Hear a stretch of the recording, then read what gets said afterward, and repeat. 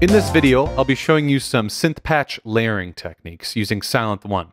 Layering our synth patches allows us to create richer and more detailed synth patches, and Sylenth One is perfectly designed for layering. This video is actually an excerpt from the Sylenth One lesson pack for Syntorial. Syntorial is a synthesizer training app that teaches you how to program synth patches by ear. It does this using video demonstrations and interactive challenges in which you program patches on a built-in soft synth. The Sylenth One lesson pack adds 38 videos that show you how to take everything you've learned in Syntorial Synth and apply it to Sylenth One. And you can actually get the first four videos from the Sylenth One lesson pack for free. Just go to syntorial.com, click try for free, and you can download the Syntorial demo for Mac, PC, or iPad.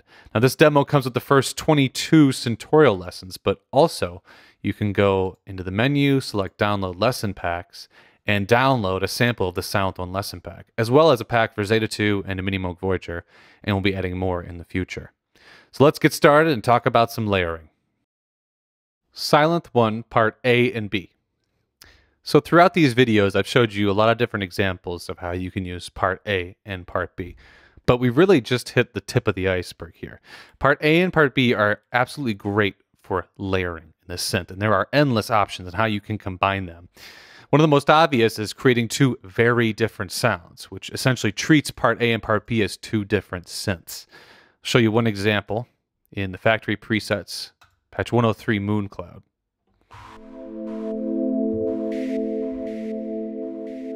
We've got two very different patches here. We've got this round smooth pad. And then we've got this rhythmic noise. And it's a cool use of different amp envelopes. Part A, we have the slow attack to create that swell, but part B, immediate attack, so that that noise comes in right when we hit a note, and we get a nice combination. This is treating part A and part B as two synths in one. And in the factory presets, there are so many cool examples of this. But I want to show you a way to use part A and part B that focus on the two filters. We can do all sorts of interesting things using filter A and filter B. First one I want to show you, patch number six. So let's take a look at our filter setups here. For filter A, we've got oscillators from A and B coming in. So that probably means our filter B is disabled, right? We've talked about that a bunch. Let's take a look. Nope, filter B is doing the same. Oscillators from A and B are coming in here too. So essentially what we've done here is we've taken all four oscillators and made a copy of them. One copy is going through part A's filter, another copy is going through part B's filter. Why? Well, let's take a listen to them individually.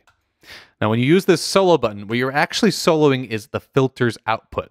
So when we're in part A and we're soloed, we're only hearing what comes out of filter A, which in this case is the oscillators from both part A and part B.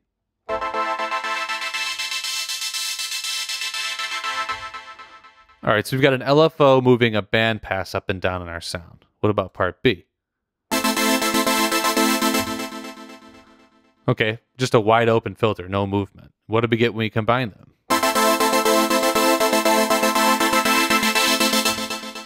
We basically get a phaser effect. This is a very simple, straightforward, chunky phaser. Another cool use for these dual filters is this patch. So what's our setup here? Filter A takes the oscillators from A. Okay, that's normal.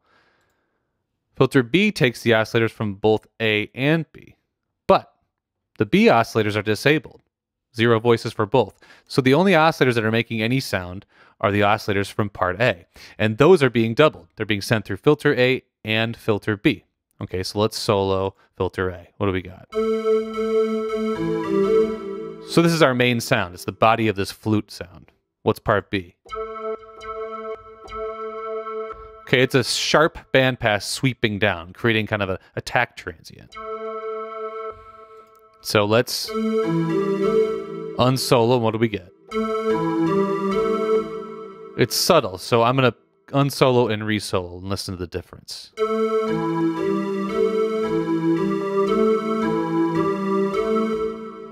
So it allows us to just layer in the attack transient. So it's not upfront and loud, it just is kind of subtle. We can control just how subtle it is now with Mix B. That controls the volume of our Part B filter.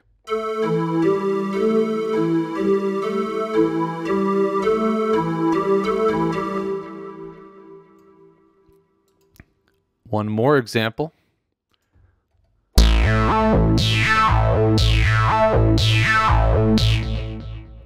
I'm going to disable the compressor in arpeggiator. And what's our setup here? Okay, so filter A is taking oscillators from both part A and B. And filter B is doing the same, taking oscillators from part A and B. So again, we're taking all the oscillators and making two copies of them, one to go through filter A and one to go through filter B. So what are we hearing in A? Our big, nice low end bass. Part B. This is a more pronounced high bandpass with no low end. Combine them. So this is nice because you know maybe you want that really pronounced sharp bandpass movement, but you want to keep your low end because it's a bass patch.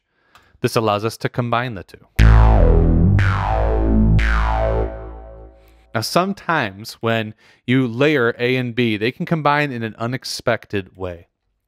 For example, this patch had the compressor on. So let's turn that on.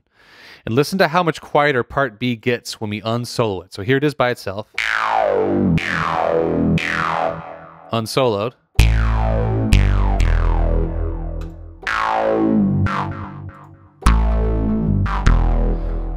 This is because when we unsoloed, both part A and part B are activated, and it gets a lot louder. We're sending a lot higher volume through the compressor. So the compressor is going to smack down on it harder, and it ends up reducing our part B volume. It's just an unexpected combination. Another example is patch 11.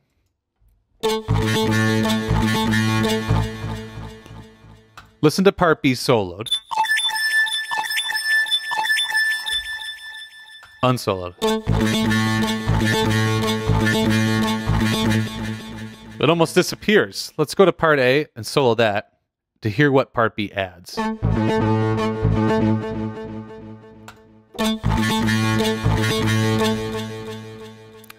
So instead of it being all bell-like when it is soloed, it just ends up being this sort of high edge once we combine them.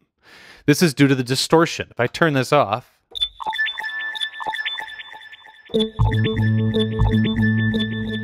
it stays bell-like when we combine. But like the previous patch, when I enable both parts, we're getting volume from both filter A and B. So we're increasing the volume of the input going into this distortion, which is similar to just increasing the amount. Everything's going to distort harder now that you have two parts going into it. So you have to be very careful when you combine the two parts. My advice is when you decide to add a second layer to your patch and you go over to part B, try to program part B without using the solo button. You're going to have a much better idea of how things are going to combine and exactly how the parts sound together if you program them while they're both playing. It can be trickier, but can save you time and give you a much more accurate patch. Well, that's it. Thanks for watching. Remember, you can get four more of these Sylenth One videos for free just by going to syntorial.com, try for free, grabbing the demo, and then inside the demo, click this drop down, download lesson packs, and download your sample for Sylenth One.